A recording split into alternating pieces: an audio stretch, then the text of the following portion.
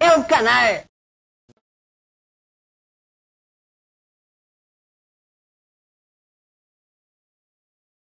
Eu dentro do jardim, cai sereno cai, dentro de toda roseira, cai sereno cai. Eu dentro do jardim, cai sereno cai,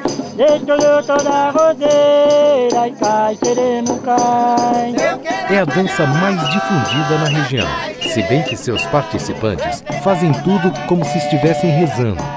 Sua origem, confirmada recentemente, não veio dos negros tem origem portuguesa e foi difundida pelos jesuítas com o propósito de fazer os negros abandonarem suas danças tribais. Assim, dentro de uma adoração religiosa, criou-se uma encenação da guerra entre mouros e cristãos. É formado por dois pelotões, dançando em duas fileiras, usando cores diferentes de fitas representando os dois exércitos. Tem sempre um mestre e um contramestre que puxam os versos e os outros integrantes repetem. É linha de melão, é de São João, é de cravo, é de rosa, de manzilicão. Em certo momento, eles dançam em roda e se misturam, representando o fim da peleja com a união dos dois exércitos. Os bastões lembram as espadas, por isso, mesmo sendo em louvor a São Benedito e Nossa Senhora do Rosário, nunca entram na igreja dançando. São divididas em encenações de chegada, oferendas, preces, agradecimentos aos santos, terminando sempre com a reza em agradecimento aos alimentos oferecidos pelos festeiros. De acordo com o puxador, muda-se um pouco a toada de uma parte para outra. Lá no céu tem um cruzeiro e toda tarde ele aparece. Eu me lembro de Jesus e pra ele eu rezo uma peça. Eu me lembro de Jesus e pra ele eu rezo uma peça. Aquele santo cruzeiro ilumina o nosso Brasil. Ilumina Nossa Senhora e com seu manto azul de anil. Ilumina Nossa Senhora e com seu manto azul de anil. Lá no céu tem um jardim, é o jardim de Santa Teresa. Oi, lá no céu tem um jardim, é o jardim de Santa Teresa. Terceiro odeio chamar, oi na maior delicadeza. Vai chamar da Irmandade pra tomar café na mesa. Meu Deus do São Benedito não nasceu aqui no Brasil. Meu Deus do São Benedito não nasceu aqui no Brasil. Ele se santificou, mas tem poder pra vir aqui. Ele se santificou, mas tem poder pra vir aqui. Mas ele trabalhou na cidade de Piraí. Ele trabalhou na cidade do Piraí. Ele fez a sua escada, mas não é para nós subir. Ele fez a sua escada, mas não é para nós subir.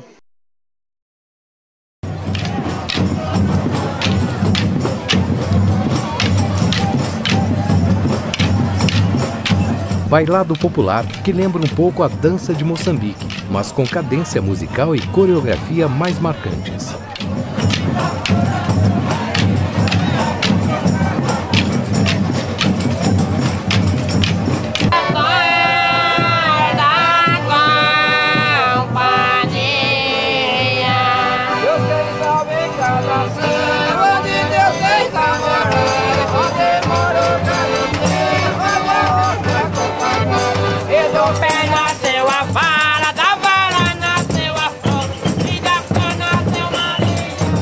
Tem o mestre e o contramestre que puxam os versos quase sempre criados pelos integrantes. Retrata também a luta dos cristãos e mouros e chegou até nós através dos jesuítas.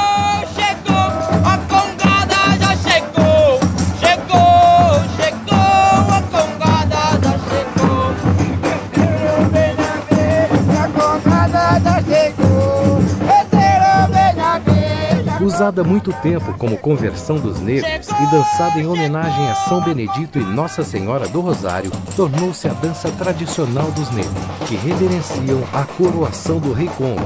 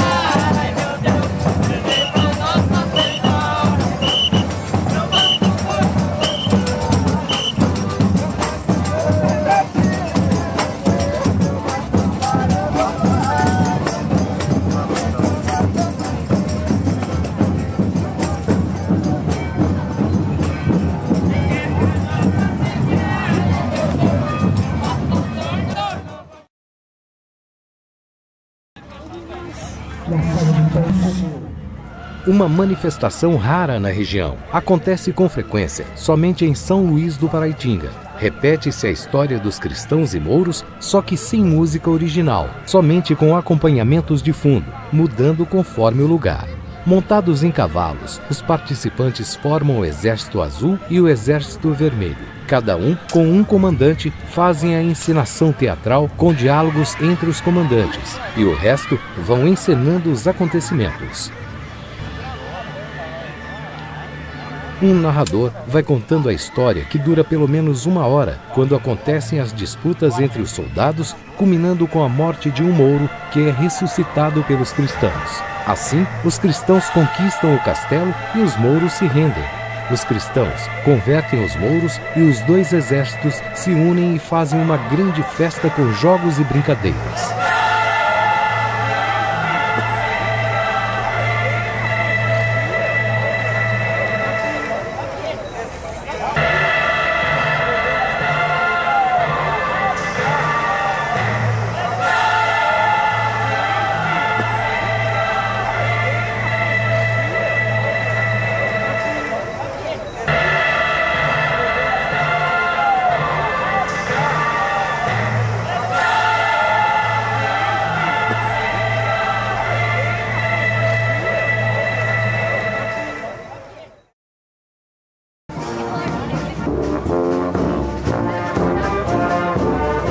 Bailado original de Portugal e difundido em todo o Brasil.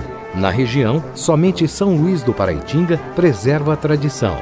Em volta do mastro, com fitas coloridas e ao som de música específica, tocada por uma bandinha, um grupo de meninas realizam um bailado. A coreografia tem que formar um trançado das fitas e depois, invertendo a dança, desfazer o trançado.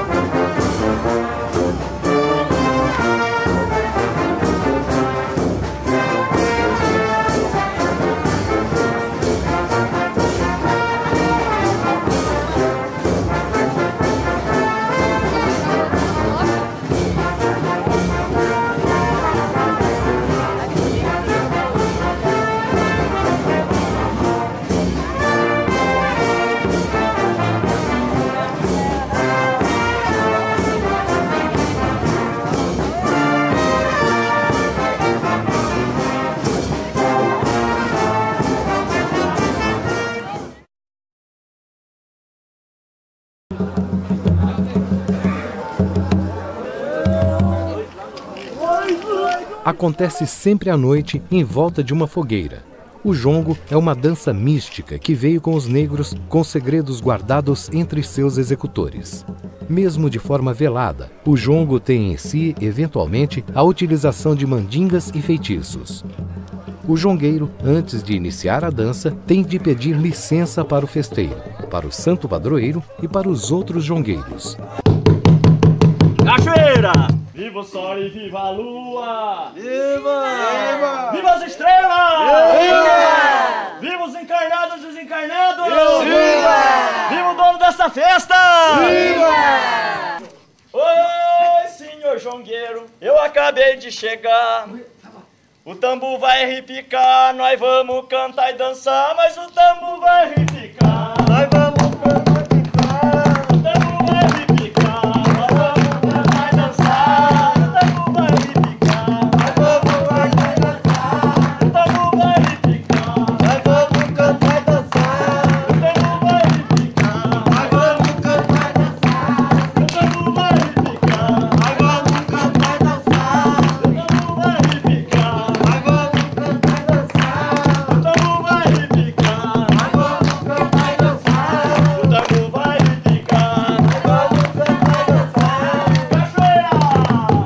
No jongo, haviam casos de um participante derrubar o outro com macumba, com uso de mandingas e histórias de feitiços lançados contra a vida do músico, que dependia de truques de defesa, como virar a viola para baixo para evitar o efeito da mandinga. Criança não podia chegar perto. Tinha gente que era derrubada, dormia a noite inteira e só levantava no dia seguinte, quando se desatava o nó do derrubado.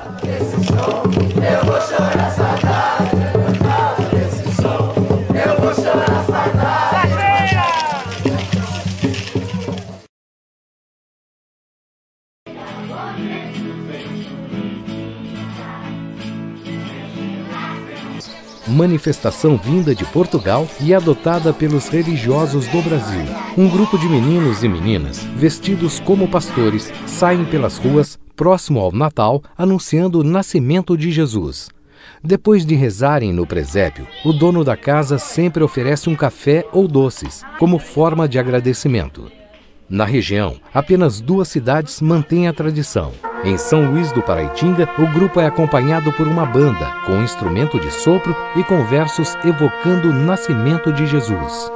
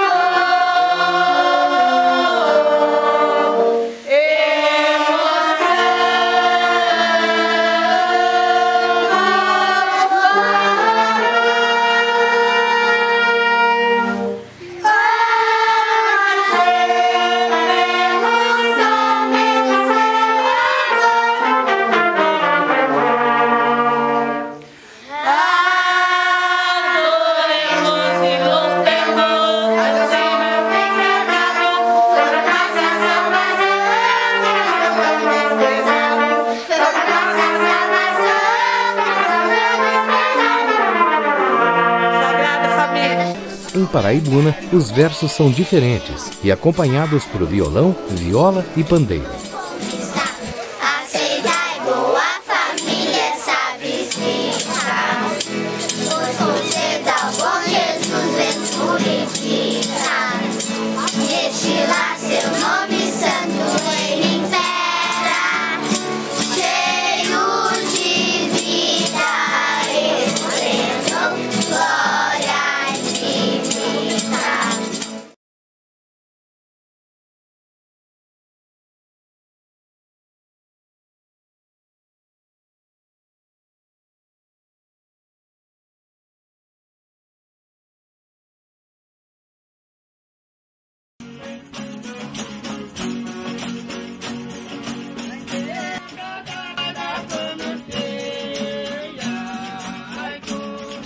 O grupo vocal é formado normalmente por quatro vozes, como mestre, contramestre, contralto e tipe, podendo ser composta por até sete vozes. Os grupos, quando se encontravam, disputavam com o outro até que um cedesse. Quem ganhava o desafio ganhava também o direito de organizar a festa de reis. A Folia de Reis, tradicionalmente, anda quase o ano inteiro pedindo prendas para a festa principal, que acontece dia 6 de janeiro. Nas visitas em que fazem para arrecadar prendas, os músicos ganham fitas coloridas para amarrar nos instrumentos. Na festa principal, a dança é feita em três arcos. O primeiro arco encena o anjo que vem anunciando o menino nascido em Belém.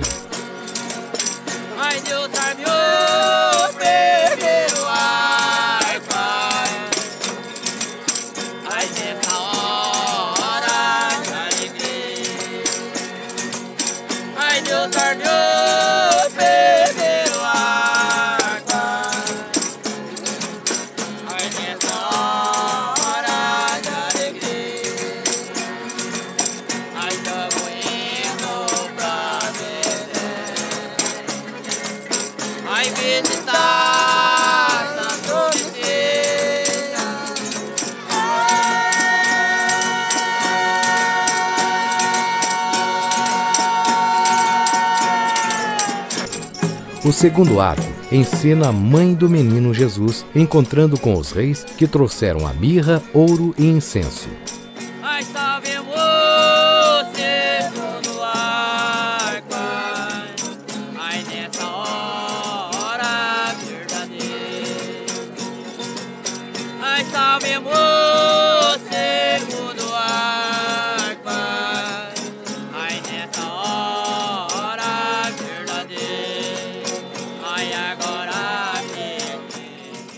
O terceiro arco encena o momento em que a mãe de Jesus é avisada pelo anjo sobre o perigo provocado por Herodes, que decidiu matar todas as crianças em idade de Jesus.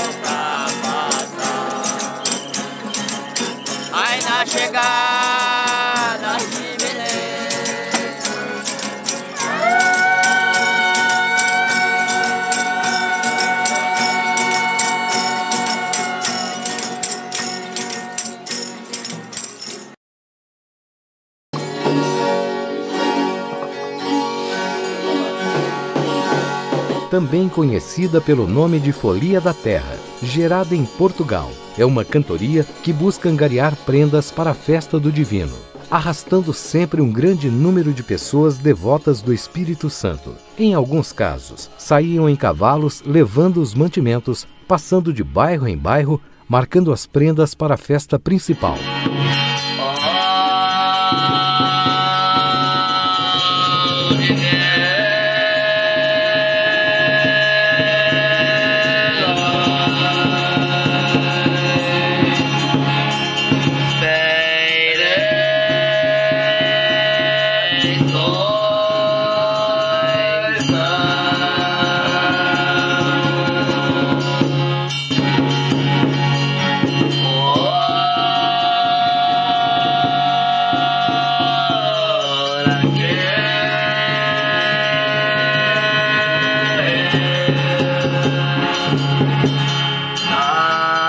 À frente sempre vai a bandeira onde são pendurados os pedidos e milagres ou lembrando graças alcançadas.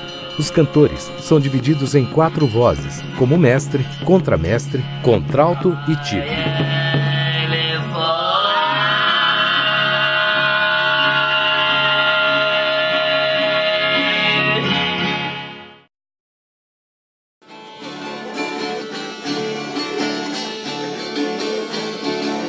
A festa começa com a preparação dos comes e bebes, pois a dança dura uma noite toda. Autorizada pela Igreja Católica, a dança acontece sempre na casa de um festeiro para pagar promessa. Convida os moradores locais e conta com a celebração de missa ou reza do terço. Tem leilão de prendas, jantar e, ao final, a dança. O santo é conhecido por zelar pela virtuosidade das mulheres e como padroeiro dos violeiros. Noite, São Gonçalo.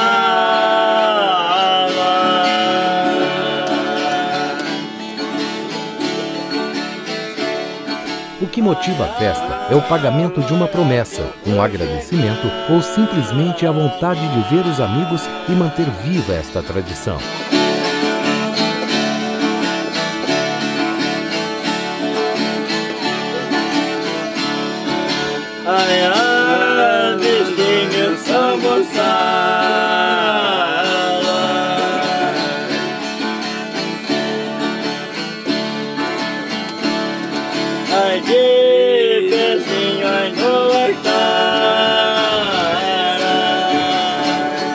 A dança acontece em frente ao altar do santo, em que os dançantes, em fileiras separadas para homens e para mulheres, dançam dando voltas. Cada volta é um ciclo de cantos e agradecimento ao santo, que pode durar mais de uma hora cada. Entre as voltas acontece troca de violeiros, um café e uma parada para descanso. Com todas as voltas, a dança dura a noite toda, exigindo resistência física dos participantes. O mestre da dança guia os participantes para que saiam da roda, entrem novamente com momentos de batida de palmas e de pés.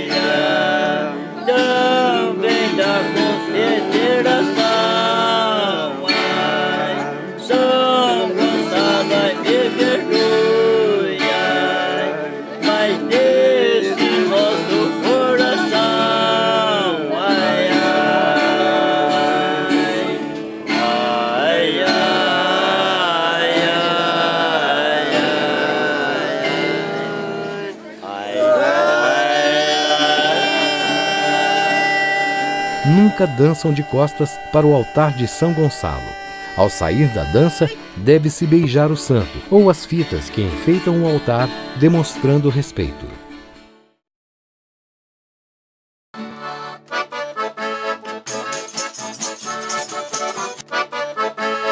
No calango, há o desafio entre os cantadores, acompanhado de outros músicos. Eles criam, improvisam, desafiam-se entre si, puxando estrofes segundo as rimas determinadas pelas linhas do calango.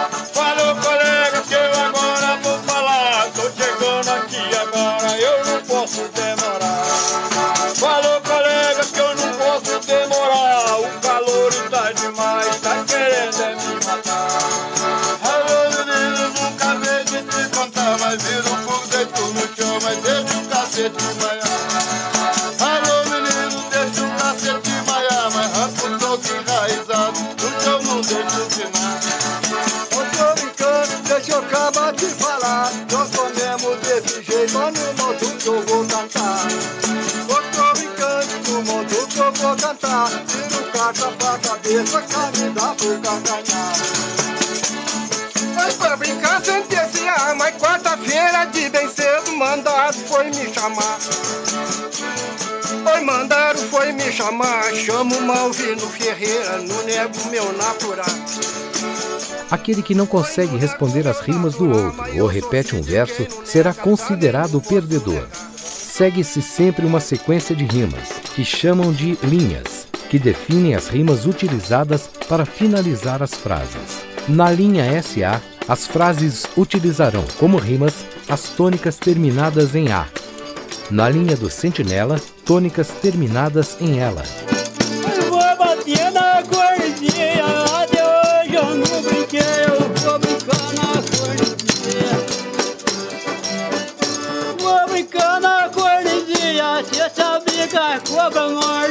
Que pisa na rodinha. Roda munição, até hoje eu não brinquei, vou brincar na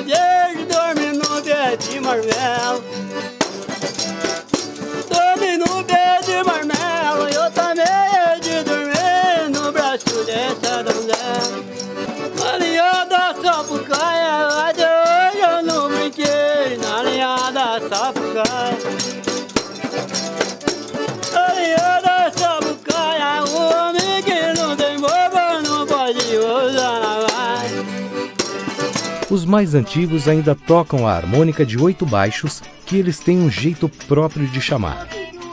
E o pessoal não falava tão bem, né? Então falava assim, ah, tem uma mônica lá em casa, tem uma mônica. Que era essa aqui, é.